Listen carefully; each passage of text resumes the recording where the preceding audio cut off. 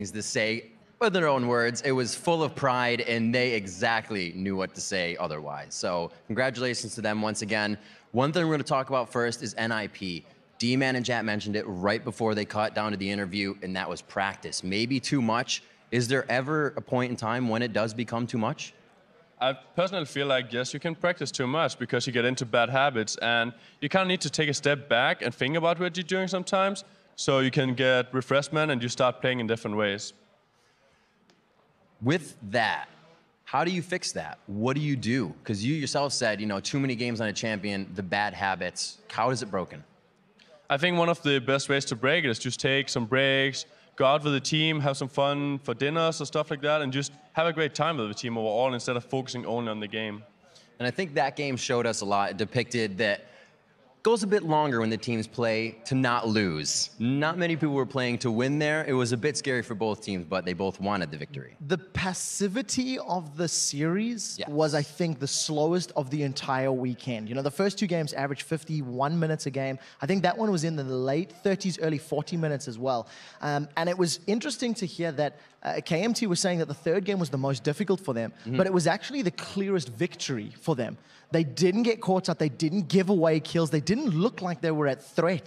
Uh, Right. you know, uh, in a threatful pos- position where they could get shut down. And it was very patient, slow play. I really want to touch on what Jatt said as well that these amateur teams, this amateur team, KMT, played more patiently and slower than anyone else because normally you see bloodbaths. Normally you see them all inning at a moment's notice. I, I think I can. I know I can. I did it in solo queue yesterday. And this time around, these guys played with patience, they played with uh, uh, control, and it worked in their favor. You know, Wickd, you scrimmed quite a bit against this NIP team before coming in. Did KMT do their homework correctly?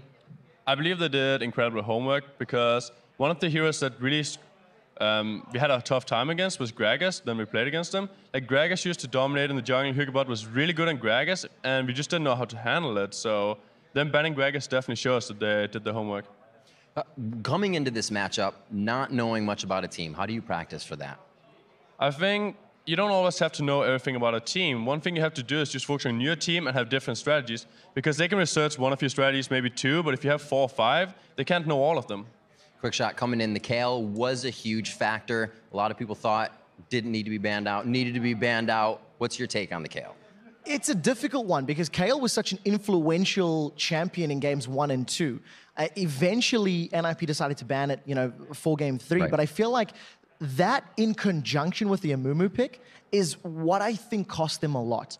In game three, it's almost like the damage was done. Hercubot didn't really have an impact. There wasn't any, you know, fast level ganks or anything like that. And Hercubot wasn't necessarily playing to the standard that we've seen him playing elsewhere. You know, when he was playing during the regular season, he was aggressive. He was getting ganks. He was making plays.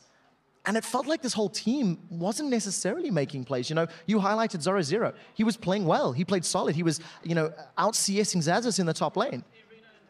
But that was it. That, that was it. That's where the sentence ends. There was no more pushes. And all credit to KMT. When they invaded for blue buff challenges, when they did pick team fights, it was always on terms that they were happy with. There was Right. very few times that you felt KMT got caught with their pants at their ankles because they had good vision, they were roaming well, and if you play slow and passive, the chances of being caught are significantly less. But again, it, it was just the, the KMT countered what NIP were doing today, and I feel NIP really needed to get faster Right. go, go, go picks earlier in the series. Wickd, if in this situation as NIP just was, what would your pick have been if you were able to get it? Would it have been Super Hot Crew or KMT? For me, like we have been scrimming both the teams, and KMT is the only team out of all teams we've been scrimming that have winning record against us. So I would definitely have chosen Super Hot Crew. All right, Trevor, looking at all these last few games, we always see new teams coming into the European scene more so than not, getting flipped and flopped out. What's the lesson we can learn here? Really just seeing so much power from Europe. I think the, the biggest thing that we can learn from this weekend series, when I think of all the promotion series matches, is that decisiveness and aggressive play wins you games. Go look at go look at the SK series. The first two games that they lost was because they sat back, played passive. They didn't do anything. Right. And when they did decide to, oftentimes it was too late, it was too far gone.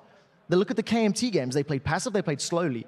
And at 25, 30, 35, 40 minutes, depending on when they wanted, they hit the go button, they won a team fight, and they won the game. You know, very CLG EU last year esque, you know, get to that late game and win a fight. And I think what the teams need to learn to do is figure out at what point they can actually win those fights, take those objectives, and then push it through. The earlier, the better. But if your opponents are playing slowly, hey, play slowly too. You know, play into your opponent if you can. All right. Well, Wickd, I'd like to thank you very much for hanging out with us today, sharing your wealth and knowledge, and giving us a little bit of insight into the games. Thanks for letting me be here. Absolutely. And now let's send